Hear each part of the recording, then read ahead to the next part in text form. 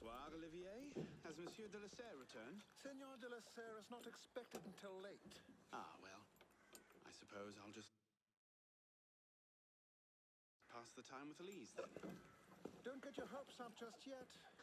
Mademoiselle is at a private soiree in her honor at the palace. A party? I wasn't invited. Neither were the horses. I'm sure she just misplaced my invitation. I'll find my own way in.